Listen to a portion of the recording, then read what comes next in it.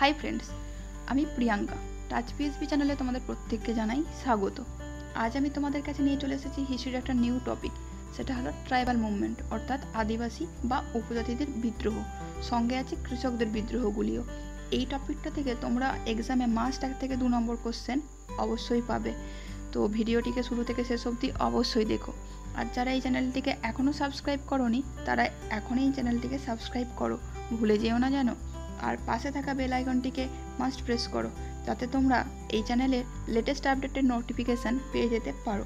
চলো আর দেরি না করে শুরু করে ফেলি আজকের video let's move on to the topic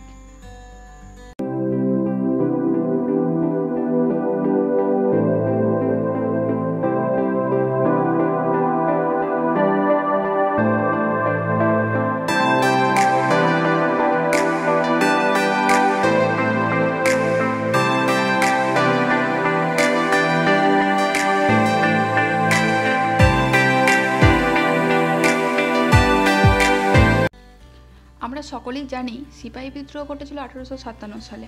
আর কেন ঘটেছিল তাও আমরা জানি। আর যদি কেউ জেনে না থাকো, তো আমি মডার্ন হিস্ট্রির পার্ট ওয়াইজ একটা সিরিজ স্টার্ট করেছি। সেখান থেকে অবশ্যই দেখে নিও। পার্ট ওয়ানের লিঙ্কটা আমি ডিসক্রিপশান বক্সে দিয়ে দেবো। এনিওয়ে আঠেরোশো সাতান্ন সালে সিপাহী বিদ্রোহকে অনেক ঐতিহাসিক বলেন, এটি আমাদের ভারতের স্বাধীনতা পাওয়ার জন্য যে লড়াই শুরু হয়েছিল, সেটার জন্য একটা ফার্স্ট স্টেপ ছিল। সেই লড়াইয়ের একটা ফার্স্ট স্টেপ ছিল। তো এটা কতটা সত্যি বা মিথ্যে তা ঐতিহাসিকরাই জানেন।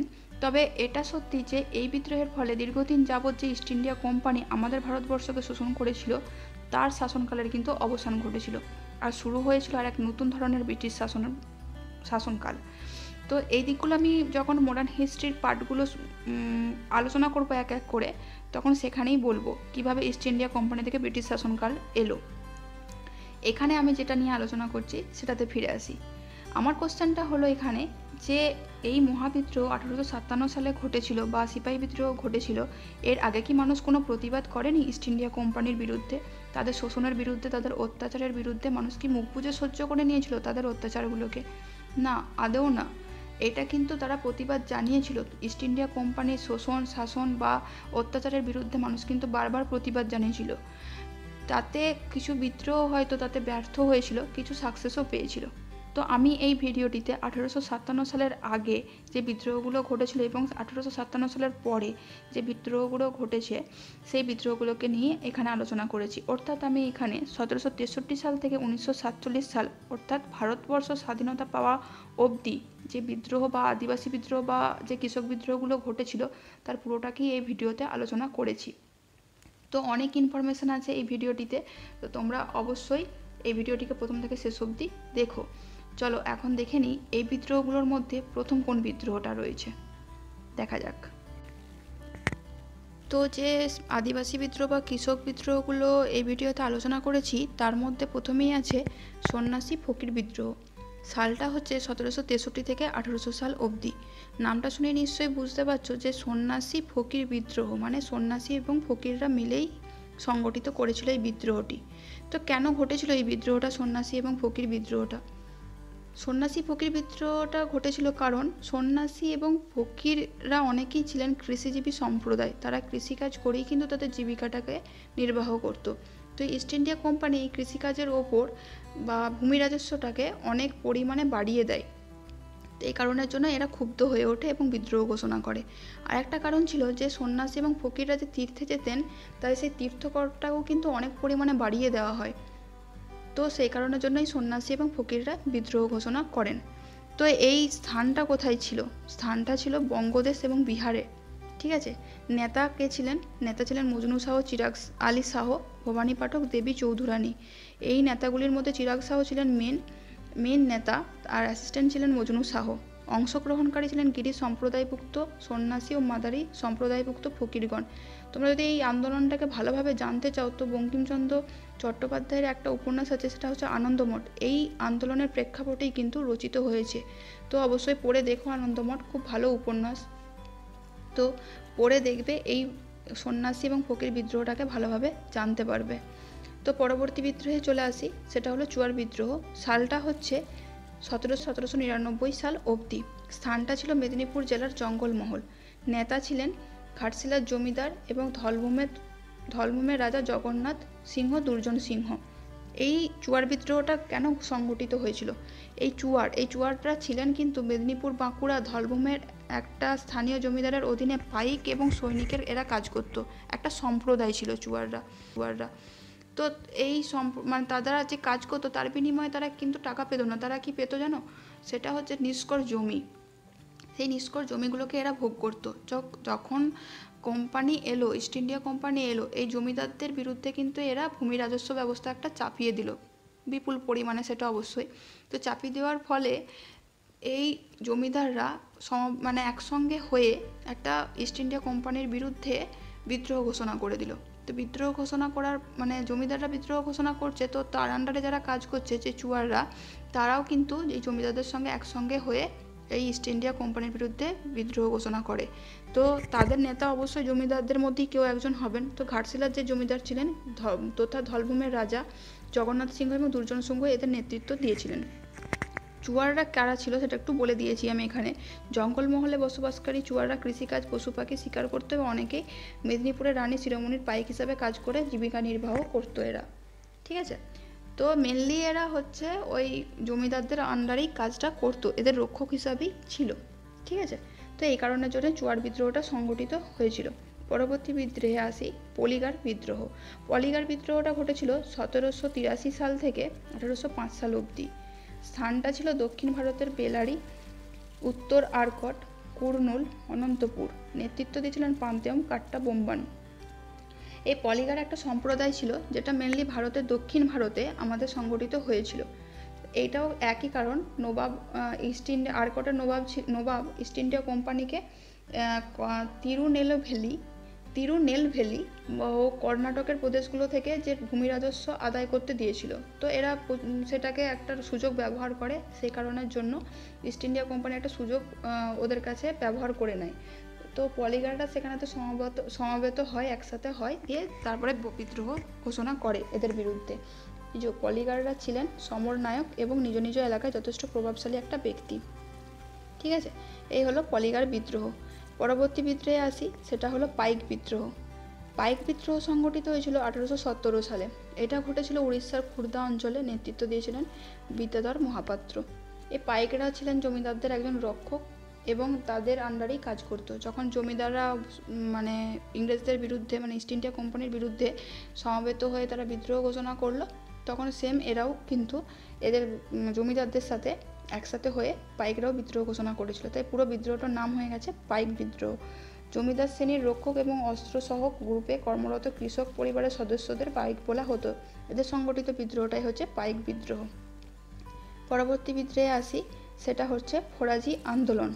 ফরাজি আন্দোলনটা ঘটেছিল আঠারোশো কুড়ি থেকে আঠারোশো ষাট সাল অবধি। স্থানটা ছিল বাংলা। নেতৃত্ব দিয়েছিলেন হাজি শরীয়ত উল্লাহ এবং তার মৃত্যুর পরে দুদু মিয়া বা নোয়া মিয়া। শরীয়ত উল্লাহ ছিলেন মেন তারপরে তার মৃত্যুর পরে তার ছেলে দুদু মিয়া হচ্ছে এই বিদ্রোহে নেতৃত্ব দেন। তো এই ফরাজি আন্দোলনটা প্রথমে কিন্তু ধর্মীয় আন্দোলন হিসেবে শুরু হয়। ইসলাম ধর্মের মধ্যে যে ফাঁক ফোকরগুলো রয়েছে, সেইগুলোকে মেরামত করবার জন্যই কিন্তু এই আন্দোলনটা শুরু হয়েছিল। তাদেরকে নতুন দিশা দেখানোর জন্যই কিন্তু এই ফরাজি আন্দোলনটা শুরু হয়। পরবর্তীকালে এই আন্দোলনটা ধর্মীয় আন্দোলন থেকে রাজনৈতিক আন্দোলনের রূপ নেয়। কারণ হচ্ছে জমিদার এবং নীলকরদের অত্যাচার, গরিব মুসলিম যে চাষিরা রয়েছে বা কৃষকরা রয়েছে, তাদেরকে সেই অত্যাচারের হাত থেকে রক্ষা করার জন্য এরা কিন্তু রাজনৈতিক দল হিসাবে নামে এবং এই আন্দোলনটা করে। এই বিদ্রোহের মাধ্যমে শরীয়ত উল্লাহ ভারতকে দারুর ইসলামে পরিবর্তন করতে চেয়েছিলেন। পরবর্তী বিদ্রোহে আসি, সেটা হচ্ছে ওয়াহাবি আন্দোলন। ওয়াহাবি আন্দোলনটার, ওয়াহাবি কথাটার অর্থটাই হচ্ছে নবজাগরণ। ঠিক আছে? এটা ঘটেছিল আঠারোশো তেইশ থেকে আঠারোশো নব্বই সাল অবধি। স্থানটা ছিল উত্তরপ্রদেশ, বাংলা, বিহার। নেতৃত্ব দিয়েছিলেন উত্তরপ্রদেশের রায়বেরেলি, সৈয়দ আহমদ ব্রেলভি, বাংলাদেশের তিতুমির। ঠিক আছে? ইসলাম, ধর্ম ও সমাজকে কলুষতা মুক্ত করতে কিন্তু কোরআনের কোরআনের নির্দেশ অনুযায়ী একটি রাষ্ট্র গঠনের উদ্দেশ্যে এই আন্দোলনটা শুরু হয়। এই আন্দোলনটাও কিন্তু একইভাবে ফরাজি আন্দোলনের মতো ধর্মীয় আন্দোলন হিসাবে শুরু হয়েছিল। পরবর্তীকালে কিন্তু এটা রাজনৈতিক আন্দোলন হিসাবে প্রতিষ্ঠিত হয়। অহাবি আন্দোলন। ঠিক আছে? এর পরবর্তী বিদ্রোহে আসি, সেটা হচ্ছে সাঁওতাল বিদ্রোহ। কত সালে ঘটেছিল? আঠারোশো পঞ্চান্ন সালে। স্থানটা ছিল সাঁওতাল পরগনা। নেতৃত্ব দিয়েছিলেন সিধু ও কানু। অনেকেই নেতৃত্ব দিয়েছিলেন, তার মধ্যে সিধু ও কানু হচ্ছে অন্যতম। ঠিক আছে? এই সাঁওতাল বিদ্রোহটা কেন ঘটেছিল? সাঁওতাল বিদ্রোহটা ঘটেছিল ইস্ট ইন্ডিয়া মানে এই সাঁওতালরা একটা পাহাড় মানে পাহাড়ের প্রান্ত দেশে জঙ্গলকে পরিষ্কার করে এরা বসবাস করতো। সেখানেতে ইস্ট ইন্ডিয়া কোম্পানি গিয়ে তাদের অত্যাচার, তাদের নানা রকমের শোষণ করতে থাকে। তো সাঁওতালরা সেখান থেকে বেরিয়ে যেয়ে অন্য জায়গায় বসবাস করতে থাকে। সেখানেও কিন্তু ইস্ট ইন্ডিয়া কোম্পানির বিভিন্ন কর্মচারীদের নানা রকম অত্যাচার নানা রকম শোষণ মেয়েদের উপর অত্যাচার, এরা সাঁওতালদের যে মেয়েরা আছে তাদের উপর অত্যাচার করতে থাকে। তো তখন এরা সংগঠিত হয়ে ভাগনডিহির মাঠে মিলিত হয়ে এরা কিন্তু সিধু ও কানু নেতৃত্ব দান করেছিলেন এই বিদ্রোহতে দিয়ে এই বিদ্রোহটা সংগঠিত হয়েছিল। পরবর্তী বিদ্রোহে আসি কোল বিদ্রোহ। কোল বিদ্রোহ স্থানটা ছিল রাঁচি জেলা সিংভূম, মানভূম, হাজারিবাগ ও পালাউমো। এই কোল বিদ্রোহটা ঘটেছিল হচ্ছে আঠেরোশো বত্রিশ সালে। এটা লেখা হয়নি আমার। তোমরা একটু মনে রেখো। যে এটা ঘটেছিল আঠেরোশো বত্রিশ সালে। নেতৃত্ব দিয়েছিলেন বুদ্ধ ভগত জয়া ভগত সুইমুন্ডা ঠিক আছে? এটাও সেই সেম মানে কোলদের ইস্ট ইন্ডিয়া কোম্পানি এদের উপর অত্যাচার করতো, বিভিন্ন রকমভাবে মহিলাদের উপর নির্যাতন করতো, তাদের মদের উপরে। এরা তো আদিবাসী সম্প্রদায়, তো এদের মদের উপরে বিভিন্ন রকম কর বৃদ্ধি বৃদ্ধি করে দেয়। তো সেই আফিম চাষে, আফিম চাষ করতে বাধ্য করে, তো এই কারণের জন্য এরা কিন্তু বিদ্রোহটা আরম্ভ করে। এগুলো হচ্ছে আদিবাসী বিদ্রোহ, ঠিক আছে? তো পরবর্তী বিদ্রোহে আসি, সেটা হচ্ছে নীল বিদ্রোহ। নীল বিদ্রোহ ঘটেছিল আঠেরোশো উনষাট থেকে ষাট সাল অবধি। স্থানটা ছিল বাংলা।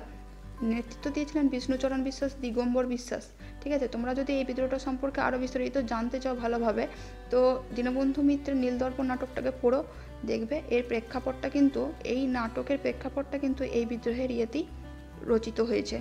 আর হরিশ্চন্দ্র মুখোপাধ্যায়ের হিন্দু পেট্রিয়টের যে একটা প্রবন্ধ আছে, সেই প্রবন্ধে কিন্তু এই এই বিদ্রোহের আসল রূপটা কিন্তু দেখা যাবে যে কীভাবে ইংরেজরা মানে ইস্ট ইন্ডিয়া কোম্পানির কর্মচারীরা এই চাষিদের উপর, নীল চাষিদের উপর অত্যাচার করতো, ঠিক আছে? তো নেতাদের নামগুলোকে একটু মনে রেখো ভালো করে। তো পরবর্তী বিদ্রোহে আসি, সেটা হচ্ছে মুন্ডা বিদ্রোহ। মুন্ডা বিদ্রোহ সংগঠিত ছিল আঠেরোশো থেকে উনিশশো সাল অবধি। স্থানটা ছিল বাংলা, বিহার, মধ্যপ্রদেশ। নেতৃত্ব দিয়েছিলেন বিরসা মুন্ডা। ঠিক আছে? এর পরবর্তী বিদ্রোহ হচ্ছে মোপলা বিদ্রোহ বা মালাবার বিদ্রোহ, উনিশশো একুশ সালে সংগঠিত হয়েছিল। স্থানটা ছিল কেরালার মালা, মালাবার অঞ্চল। নেতৃত্ব দিয়েছিলেন ইসলাম ধর্মাবলম্বী কৃষকরা। এই আন্দোলনে অংশগ্রহণ করেন। ঠিক আছে? এই আন্দোলনটা ভালো করে মনে রেখো। মোপলা বিদ্রোহ মানে কোথায় ঘটেছিল? এটা খুব আসে। কেরালাতে এই আন্দোলনটা সংগঠিত হয়েছিল মালাবার অঞ্চলে, মালাবার উপকূল অঞ্চল। ঠিক আছে? কত সালে ঘটেছিল একটু মনে রেখো। তেভাগা আন্দোলন, উনিশশো ছেচল্লিশ, সাতচল্লিশ সালে এটা ঘটেছিল। বাংলার দিনাজপুর অঞ্চলে এটা ঘটেছিল। কমিউনিস্ট নেতৃবর্গ এটাই নেতা মানে নেতৃত্ব দিয়েছিলেন। এই বিদ্রোহের স্লোগানটা ছিল আদি নয়, তেভাগা চাই। ঠিক আছে? এই মানে এক্সামে তোমাদের এই বিদ্রোহগুলো থেকে শুধুমাত্র নেতাদের নাম বিদ্রোহ কত সালে এবং কোথায় ঘটেছিল? আর কোনখানে এই বিদ্রোহ ব্যাপক প্রভাব বিস্তার ঘটেছিল? বা কোথায় এই বিদ্রোহগুলো শুরু হয়েছিল? এমন কোশ্চেনগুলোই কিন্তু আসে। এর বেশি তেমন কোশ্চেন আসে না। এক থেকে দু নম্বর হলেও কিন্তু আমাদের কাছে এক্সামে অনেকটাই দামি। তো ফ্রেন্ডস আজকের ভিডিওটা এখানে অবধি। কোনো ডাউট থাকলে অবশ্যই আমাকে কমেন্ট বক্সে জানিও। আর আজকের ভিডিওটা কেমন লাগল? সেটাও কিন্তু কমেন্ট করে আমাকে জানিও। ভিডিওটি ভালো লাগলে লাইক করো শেয়ার করো তোমার বন্ধুদের সাথে। আর চ্যানেলটিকে সাবস্ক্রাইব করো। Keep smile keep study see you soon bye